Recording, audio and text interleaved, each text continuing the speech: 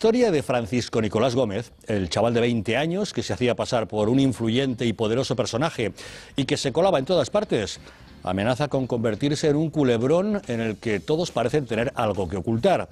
Que un jovenzuelo se presente sin problemas en la coronación de Felipe VI, participe en una reunión de empresarios del IBEX 35 o alterne con los famosos en el palco del Real Madrid, se ha convertido en todo un misterio. La jueza que lo interrogó el viernes pasado sigue sin comprender cómo consiguió embaucar a todo el mundo. Hasta se presentó en Ribadeo, rodeado de cochazos y escoltas, engañando al alcalde y a la policía municipal, argumentando que se iba a producir una cita allí entre un empresario y el mismísimo rey. Decía que trabajaba para Soraya Sáenz de Santa María y para el CNI. Estuvo en FAES, la Fundación de Ideas del Partido Popular, y ha mantenido contactos con los más variados e influyentes personajes.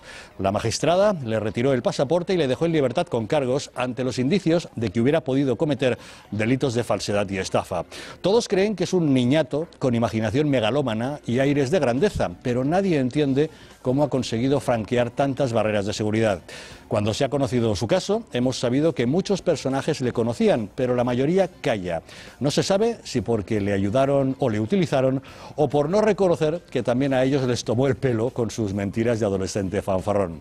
El gato al agua ha investigado las andanzas de Francisco Nicolás. El viernes ya les mostramos los comentarios que sobre él hacían sus compañeros de universidad. Hoy les ofreceremos un vídeo en el que podrán verle recogiendo a un financiero para llevarle a una reunión política. El grupo Intereconomía es el único medio de comunicación que ha conseguido un vídeo en el que se ve a Fran Nicolás en acción.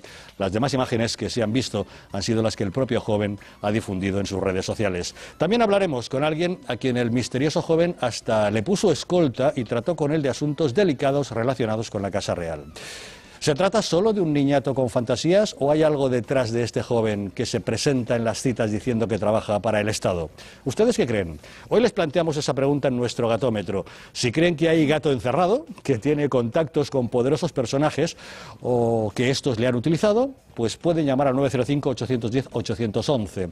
Si creen que no, que solo es un niñato que se colaba donde no debía e iba alardeando para hacerse el importante, pueden llamar al 905-810-812.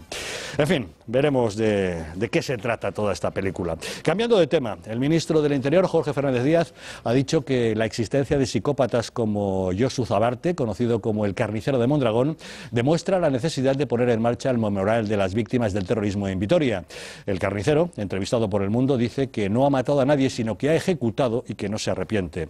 Responsable de 20 atentados y 17 asesinatos, dice que no renuncia a la lucha armada.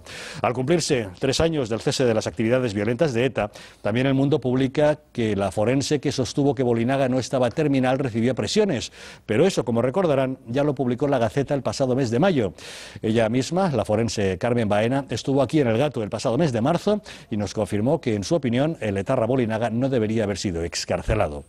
En Crónica Política les hablaremos del Partido Radical Podemos, que este fin de semana ha celebrado su asamblea entre divisiones internas y marcha atrás de algunos de sus postulados estrella al comprobar que son irrealizables. Por ejemplo, ya no defienden dejar la deuda impagada y ahora optan por reestructurarla. El gran problema de la formación sigue siendo el personalismo de su líder, que no quiere compartir el poder con una dirección colegiada. En fin, algo parecido a lo de Rosa Díez, que elimina de UPyD a quienes le llevan la contraria. Lo que ha hecho con Francisco Sosa Wagner, que se atrevió a cuestionar las formas autoritarias de la jefa. Desde UPyD han iniciado una campaña para desautorizar a Sosa Wagner, acusándole de no querer el bien del partido. ¿Qué les parecen los temas que hoy les proponemos? Queremos conocer su opinión, como siempre, acerca de estos asuntos. Sira Valdés les recuerda cómo pueden hacernos llegar sus mensajes. Sira, muy buenas noches. Muy buenas noches. Como siempre, ya saben que esperamos que participen con nosotros a través de las redes sociales. ¿Y cómo pueden hacerlo? Pues enviando sus opiniones, preguntas y comentarios a través de nuestra cuenta de Twitter, arroba gato-directo. Y también queremos saber su opinión en, en nuestro gatómetro que hoy les proponemos. En el caso de Nicolás Gómez, ¿hay gato encerrado o es solo un niñato? Recuerden, si creen que hay algo más detrás de esta historia, llamen al 905-810-811.